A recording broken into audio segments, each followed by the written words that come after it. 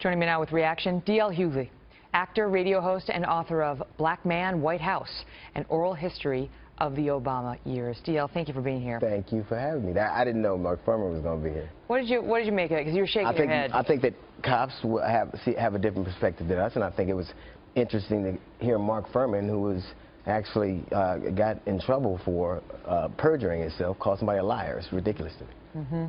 And but what do you make of the fact that she had inconsistencies in her story? I think that I think the cop had inconsistencies in his too. Mm -hmm. To me. So then you let the you know you let the evidence play out. Here's my problem. No matter racism. it is my belief that no matter what happens, no matter what we see, the cops are given a presumption of innocence. If that same tape showed a suspect doing something, that would be all the prosecution would need. They would say the evidence is all right here. But a cop gets a presumption of innocence that is, no matter what they see, we can see somebody getting shot to death. Go, we don't know what happened before. We don't know what happened after. I know this, that in a state, in both these states, men, a lot of men in Louisiana, 50 or 47 percent of people carry guns. Men carry guns. So men having guns on them can't be that unusual. Why wasn't the first question, rather than assuming, uh, they, do you have a permit for that? Mm -hmm. Those are states that you can carry a gun. But you're making assumptions because we don't know what happened. No, what no. we have right now is her testimonial, which doesn't catch, capture the actual event. Do we know whether she's credible? Do we know whether... We know this. We know he had a permit to carry a gun. But, but that doesn't answer any no, of the questions. That, that absolutely if, if answers he, if he the pulled question. the firearm on the officer, if he didn't disclose it, if the officer felt why, threatened. Why on earth would you... Uh, here's, here's, here's what we do know. He had a permit to carry a gun. When you get a permit to carry a gun, they tell you exactly how to act when a police officer. that doesn't mean he didn't threaten the officer. That, you're willing to give them a presumption of innocence. I'm not I'm giving not. them presumption. Well, the law gives them the presumption Absolutely, of innocence. No, no, their, their badge gives we them a presumption don't know the facts. I, I mean, know we, we saw this happen with Michael Brown and Ferguson. And we still don't know the facts there. Well, we have a police yeah, officer's word and a grand jury's word. No, we have the Department of Justice's word. The, the Department of Justice shut down Ferguson. Ferguson had to no, be no. shut down because it was the so corrupt. The Department of Justice found that the police office, that the police there had endemic racism. They found that. Right. But they also exonerated Officer but Darren that's, Wilson. That's not a, and they found let, let hands up, don't shoot was a let lie. Me ask you something. And that no, Michael that is, Brown uh, wow. was the aggressor. Wow.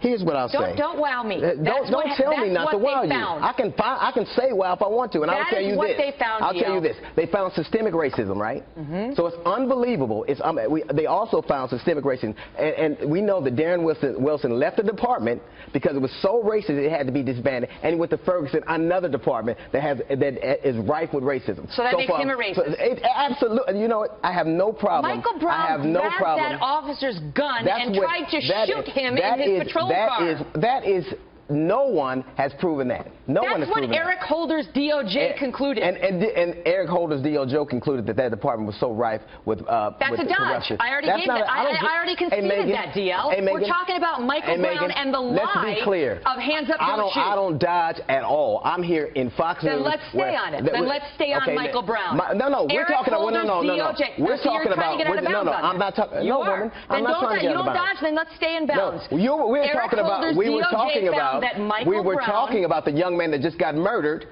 in, in Minnesota. And, and the went rush to, to judgment and the assumption I you have, know something have, when you don't I, actually well, first know off, it. First off, what I'll tell you is this.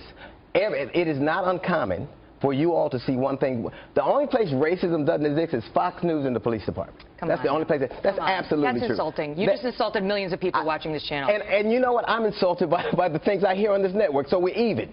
I could care less about insulting people that insult me on a daily basis. You're making a point that is, before the insults, the point you were started to make is true, and we can talk about that, that whites perceive the situation when it comes I don't to these I think a lot of people on this network Let me just have never seen right? a black man anything could, deserved could you hold Could you hold the insults for a second so we can have a productive conversation?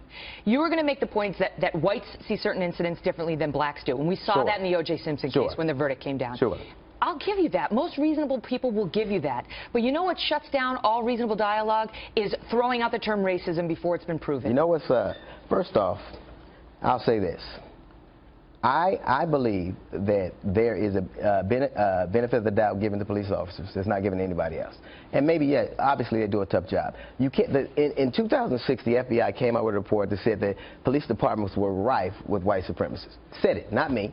So why wouldn't I believe if I know that? I don't know a black man that hasn't had a run-in with a police officer from the highest to the lowest. That- so my you've been backed perception, up on that by my many people. perception of this is is based on the experience I've had, just like yours are. Mm-hmm. So I am not willing to give them a benefit of the doubt. I have seen a lot of things. That Mark, I lived in the city that Mark Fuhrman policed that also had to be uh, had to be taken over by the federal government It's because just it was so it's very dangerous when you get to the point where you paint with an entire group with the same brush based on the It- bad actions of, of a few. That is, that is You're in a amazing to place. hear on this network. That really is. DL. That really is. Amazing to hear on this network. The only place racism Thanks for doesn't being here. exist- Thank you for having Take me. care. Also tonight, new details.